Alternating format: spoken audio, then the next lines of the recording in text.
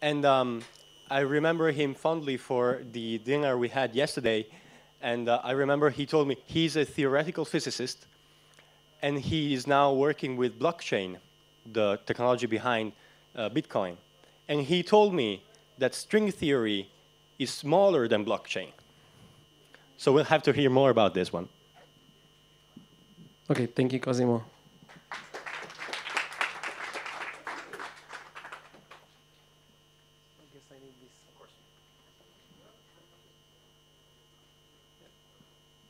Okay, so first of all, let me thank Network Society and especially David Orban for inviting me here.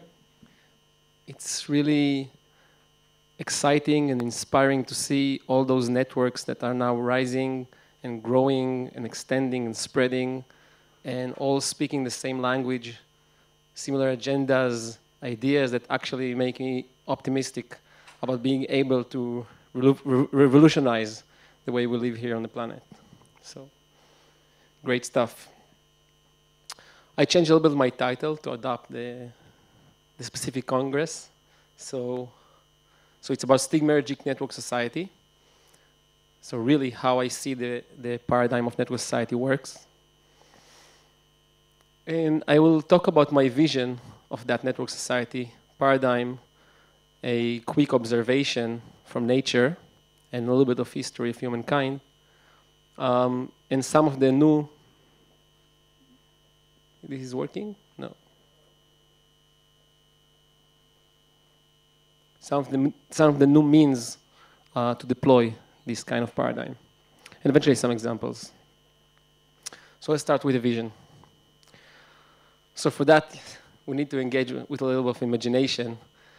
So imagine, imagine a world completely governed by networks self-organizing networks. Imagine Facebook network, but without Facebook Inc. Imagine people renting um, apartments with no Airbnb in the middle. Uh, imagine ride-sharing applications with no Uber or Lyft. Millions of people insuring each other spontaneously, and maybe millions of people building startups together. So this, this is the world that I would like to see.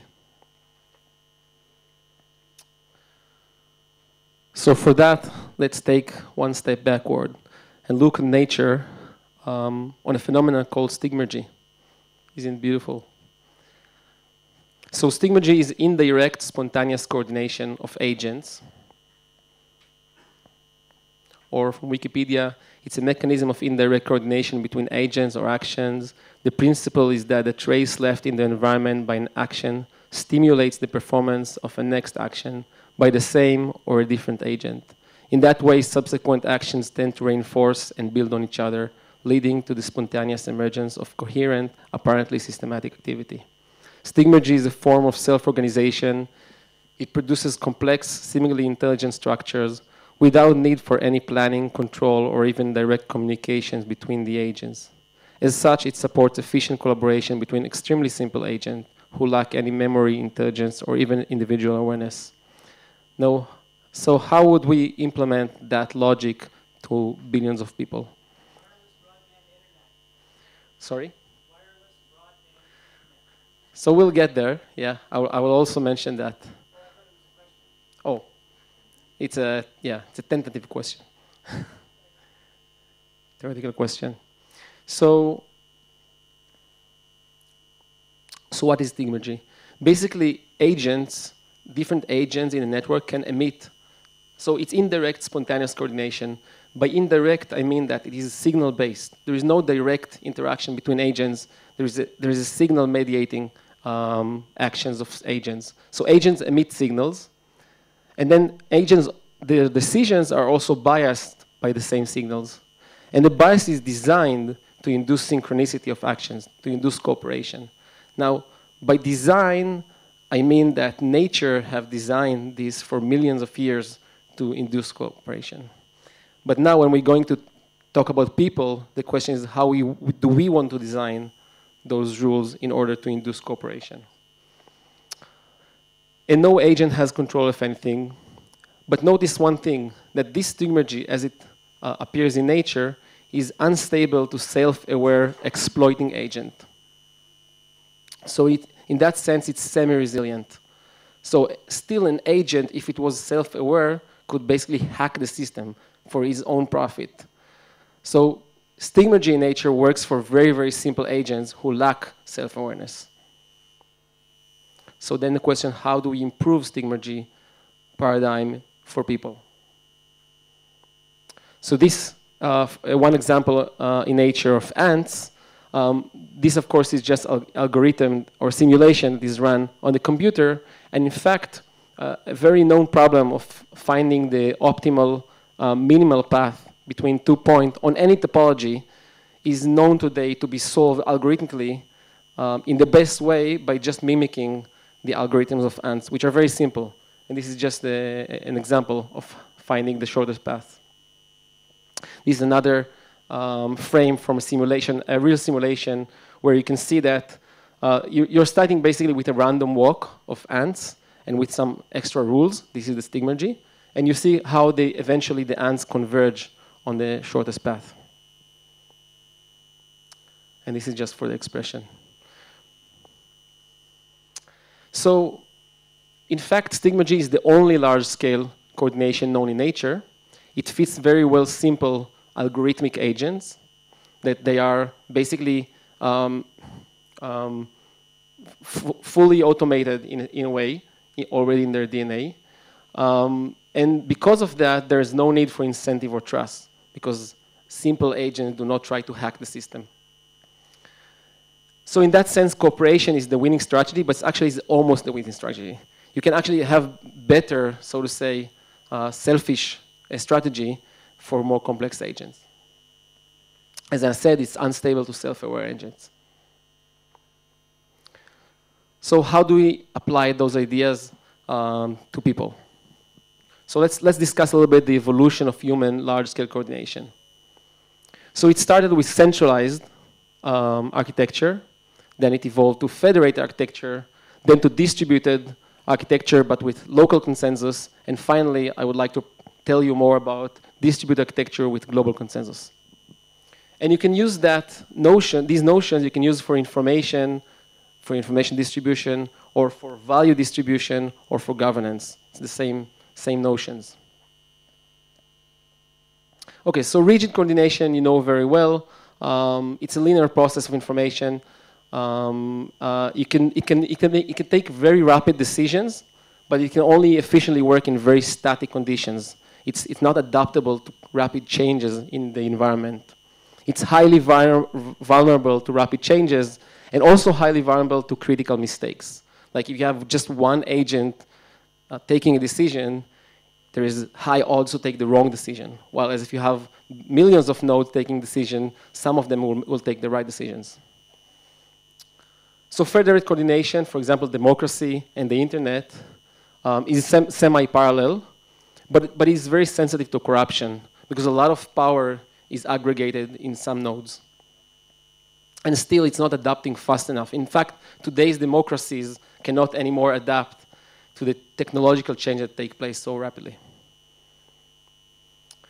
There is, a, there is even better architecture. Um, it's the market or P2P coordination. So it's a, it's a subjective distribution, which means that uh, it only optimizes according to P2P interaction. So it optimizes locally. Uh, well, the, the best example is just pure capitalism. So it does optimize locally, but there is no global optimization. There is no global coordination. So in that sense, it drives competition. It leads to twist and, and eventually severe inequalities. And as you all know, it's not, not sustainable. And we would like to build a world with stigmergy coordination where there is a distribution of power, distribution of decision making, distribution of value, which is intersubjective. Um, and we call that DCO, Decentralized Collaborative Organizations. This is the real network society that I have in mind. And it, uh, it has the feature of decentralization, scalability, resilience, macro diversity, and micro homogeneity. And most importantly, and that's the big difference from, um, well, well, the big difference from uh, stigmergy nature, it has an incentive for cooperation. And that's the, the additional piece you need to add for people. You need to have a built-in incentive to cooperate and not to corrupt the system. So with this additional incentive model, cooperation truly becomes the winning strategy. And that's, I think, the world we all uh, want to live at. So what would be the means for that? Okay, so uh, about, about a decade ago, um, people invented the distributed hash table, or DHT. Uh, the canonical example is BitTorrent, and it's just a distributed architecture for file sharing. Um, it is uh, distributed, but it cannot carry value. So there is no global consensus built into this protocol. So you can distributedly share information, you cannot make transactions on this protocol. So you cannot build economy with this architecture. But that's, but that's, but that's the first, um, I would say, block in that stack. And some examples are BitTorrent, IPFS is a new example, and today there is even a more advanced ones called Synereo, which also incorporates social, um, social network features into it. And then uh, about six years ago, uh, some people, unknown people, have invented the blockchain, which is a distributed consensus protocol. Today, the blockchain is much more than that. It's actually a distributed computer. But the point is that, the important point is that you have a consensus protocol, which means that the whole network can hold the consensus about, objective consensus about a state. So imagine that you have, we all have a computer that we all run together. Each of us, each of us can give input to the software, and none of us can corrupt the software. And, and this will have dramatic effect on the ability to create uh, global coordination, uh, global economy, and stigmergy. However, the blockchain is only based on algorithmically verifiable input. So the only way to interact with the decentralized network is via uh, input which is algorithmically verifiable, such as uh, the mechanisms uh, that are called proof of work, proof of stake, proof of storage, proof of CPU, and so on. Proof of movement as well. The problem is that most of the centralized interaction you can think of requires also human interaction. For example, let's say that we are now 1,000 people in the room and we want to write a piece of code together. This already takes place in the open source community, right? Linux, for example. The problem is that how do you distribute the value of that co-creation? Or Wikipedia, for example. How you, today, for Wikipedia, there are two, well, it's amazing, but still, there are two issues. Um, firstly, it's based only on voluntary actions. Like people cannot actually work all of their time and make revenues of that or, or salaries. And secondly, it's not really decentralized. It's, it's based on administrated architecture. What will happen if you have completely decentralized Wikipedia that people can actually participate and get value from? How, how much more scalable would that, would that be? Or how would it look like if instead of that, you would have the same network that builds some open source technology and so on. But the point is that people are interacting with the network by um, giving value in terms of code, design, or what, whatnot. And then the question is, how do you distribute the value of that co-creation among collaborators? So you have to rely on input which is not algorithmically verifiable, um, but can only be assessed by other humans. And that's, that's where it enters the backfeed protocol, so it's a distributed consensus protocol based on human input, which basically means that it incorporates peer-to-peer -peer evaluation mechanics, decentralized reputation system, decentralized value distribution system, and last, incentive model for early cooperation. I'm saying early just to emphasize that built into the model, the earlier you are participating in the network, the more value you get, reflecting the higher risk you are taking. Because the, the largest problem of decentralized network, and actually general network as well, is creating the critical mass of participants before the network is actually carrying uh, real world value. So in, in, order to incentivize people for early participation before there is operational value, basically people who participate earlier, earlier get more um, shares in a way in that creation. And that, that indeed makes collaboration the winning strategy. So in, in a sense, the, the backfeed protocol is, a DN, is the DNA for decentralized, instead in ANTS, it's the DNA for decentralized collaborative organization, or if you want, is the DNA for distributed network society. So that's how the blockchain stack looks like. There is the DHT, the blockchain, the Backfeed protocol. On top of that, will be a collaborative platform and eventually a visual browser. Imagine a browser. Uh, today, we are browsing the internet or Wikipedia or anything by, via links and, and clicks. But imagine that beyond, beyond this uh, database, there is, exists a graph. So the internet is a graph. Wikipedia is a graph. Every database that we know today is a graph. But why do we browse it through links? Cannot we just browse it through the graph itself? So imagine a, a visual browser where you can actually travel the network from the graph, seeing the graph, zooming in, zooming out, and so on. So I'm claiming that this will actually be a necessary tool for participation in such a huge, uh, gigantic network. Is this is under development, yeah. Where? Where? So there are various groups around the world that are doing something similar to that, and we are basically taking that uh, knowledge and code uh, and gradually incorporating that to the decentralized world.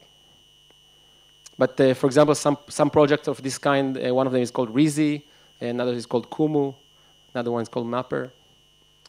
So all those projects came in the same year. I think many people at the same time realized the necessity of that. Um, yeah, so this will be like the blockchain stack. Um, this can be like Ethereum, Bitcoin, and Backfeed makes the protocol. There is application layer, and then the platform or the visual browser layer. And it's very analogous to the internet stack that we all know. Um, so in, in, a sense, we are building a new kind of internet. Imagine an in internet where, which is collaboratively built, built in collaborative. So built in in that internet, uh, nodes on the network cooperate and build things together. So very, very quickly, I won't get into much details, but very quickly, and I'll just say that uh, the protocol works in a way that contributors can make any sort of contributions. Then any node, other node in the network can evaluate, can assess the quality of that contribution. Um, the, each voice is basically weighted by the reputation of each node. So each network has a different reputation score and a different token score. The token score is like the financial equity of that network, and the reputation score is kind of like the influential equity of that network. Um, the, the important point here is that it is built in a way such that those people who are, are shown to be aligned with the network, their reputation increases where those people who are disaligned with the network, their reputation decreases. This, this means that when you are voting on some other's contribution, you're actually putting your reputation on stake, which basically makes a feedback loop that drives the system into alignment. However, those who are disaligned with the network at any time can just fork it, like you fork a code on GitHub. They can fork the network, fork the reputation score, fork the token score, and make a new network. In that way, in a natural selection evolution, you make network of networks, which basically everything is open source. This is, this is a model for open source technology. So basically, they all share the things that they agree about and, in a sense, compete only about the things that they disagree about and basically probe all the space of possibilities in a systematic way. So it's, it's, it's, again, it's diversity at the macroscopic level and homogeneity in the microscopic in network level. Yeah, let, me just skip that, and if I can go back later into more details if people are interested, the way tokens are being distributed, um, and reputation as well. So what, what are the tokens good for? So basically, this decentralized collaboration is making something. It could be decentralized insurance, decentralized startup, decentralized energy grid, or whatnot. And then there are those contributors above that have gained tokens in the early days, and they can use them in order to facilitate the new service or product of that network. But there's also many other users that never gain tokens, and they need to gain those tokens in order to use the network, and they can do that in two ways. They can uh, either just purchase the tokens from the contributors directly in the open marketplace, a decentralized marketplace, or they can just purchase them directly from the network which is kind of a reserve, decentralized reserve fund. And then the cash that is going into the reserve fund can be redeemed, I mean, the tokens of the contributors can be redeemed against that fund. So it's, it's basically an autonomous economy, um, which is designed to have stabilized uh, token, and so on. And that gives the, the tokens that been distributed in the early days, it gives them real world value once the project uh, succeeds. So it, it goes like that. So initially it has no value, and then people believe in the success of that network, and there is demand for the tokens, and then the value is increasing. At some point here, um, the community start providing some goods or services to the public, and in order to facilitate or to enjoy those goods or services, you need to have those tokens, and then the tokens value is uh, increasing up until it stabilizes um, uh, on some value. That's, that's how the economy, this economy is designed. Um, let, me, let me almost end with some examples that are actually under development these days. So for example, you can imagine decentralized ride-sharing network. So it's a, a gigantic network of peers driving all over the place where a rider and a driver can be matched in complete peer-to-peer -peer fashion. So you don't need Uber or Lyft to match those. They can actually the, the software that is running the matching algorithm is actually sitting on the blockchain. So you don't need any centralized server to match the, the driver and the rider. And then the transaction is also directly peer-to-peer -peer between the two nodes. Um, imagine decentralized journalism. We're actually now working uh, with two companies to uh, uh, implement that, like kind of Reddit, but completely decentralized. Anyone can upload content. Anyone can edit, suggest additions of others' content,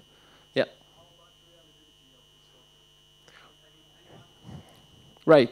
But then th that's where kicks in the reputation score. So basically, it means that there are many, many networks. So you can have one database of a huge database of content, but then many, many networks that looks at this database in a different, from different angles with different reputation score. So maybe your content will be highly valuable in one network and less valuable in the other network. So, it's a, so each of those networks is self-monitoring the quality of the content.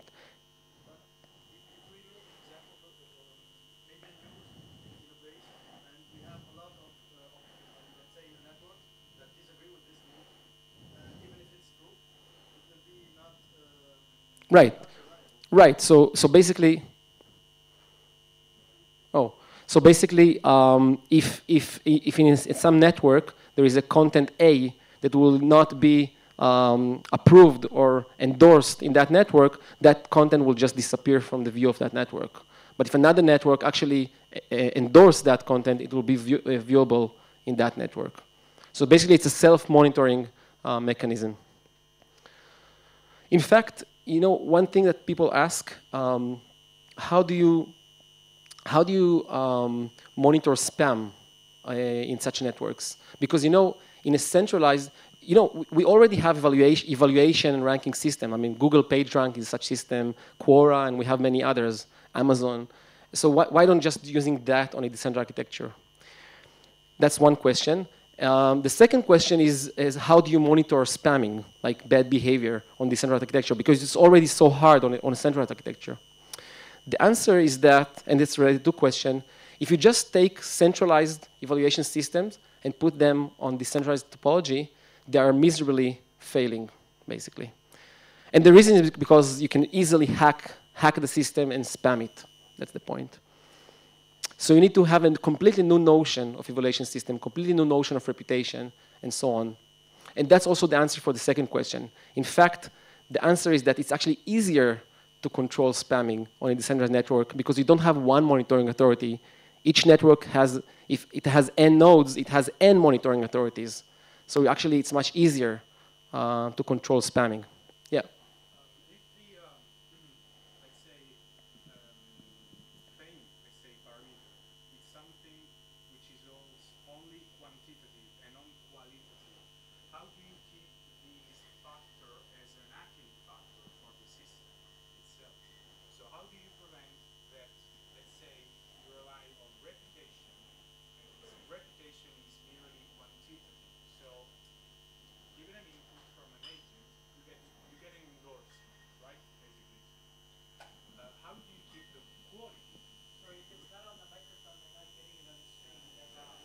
Yeah.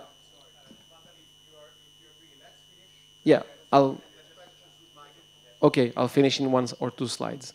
So you can imagine decentralized insurance network, like billions of people insuring completely peer-to-peer, -peer insuring each other. with this technology that I'm telling you about, there is what, whatsoever, there is no reason for insurance companies. I mean, once these use cases are deployed, insurance companies will, will not be able to suggest anything better than that. This, it will be more fair, it will be more aligned, nodes on this network will be more aligned, it will be cheaper, and, and it will scale. So a centralized company will just simply won't be able um, to compete with that. You can imagine decentralized makers, decentralized startups, like what, what would happen if millions of people actually build a startup together? How would this would look like? A decentralized VC,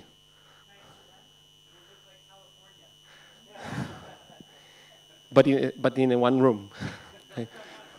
um, a decentralized environmental movement, actually related to the previous talk. We are in touch with several organizations, and I would like to be, get in touch with the, the, the last speaker as well, um, about making a decentralized, like large-scale decentralized environmental movement, and of course, decentralized social network. So just, just before I'm finishing, just, just to tell you that there are many, many uh, beautiful people that are responsible for this dream to become true. And this is already not updated um, as new people are entering all the time. But these guys here are, um, well, most of them are full time, fully time dedicated to this project. And let me just end uh, with one um, last sentence. So basically, I just want to tell you, welcome aboard, welcome aboard to the transition that is going to take place um, for humanity. Um, be prepared and most importantly, don't worry because nothing is under control. Thank you.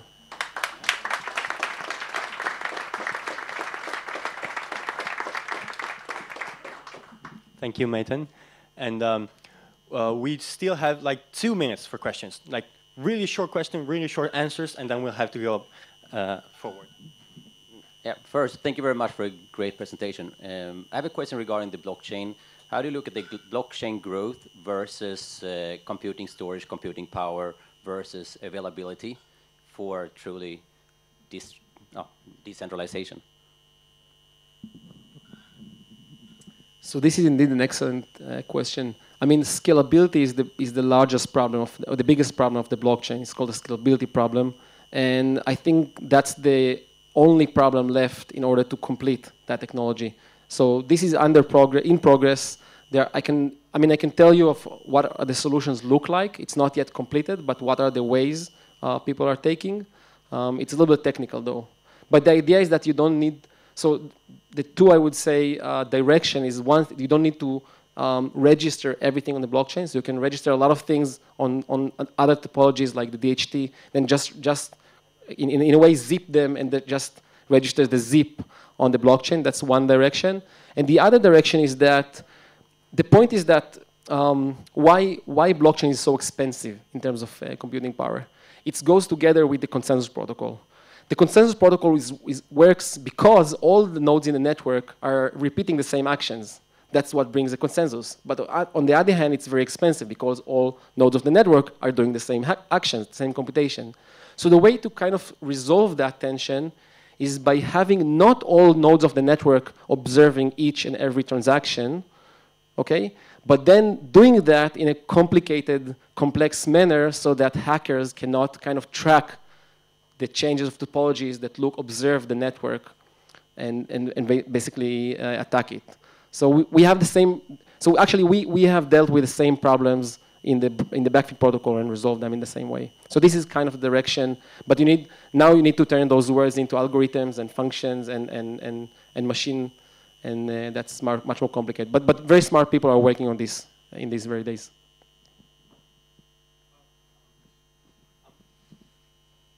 Unfortunately, we do not have time for any more questions. Um, I'm sure Matan will be available for answering those and chatting about it later on. Uh, but thank you, Matan, for that speech, and um, let's, let's hear it.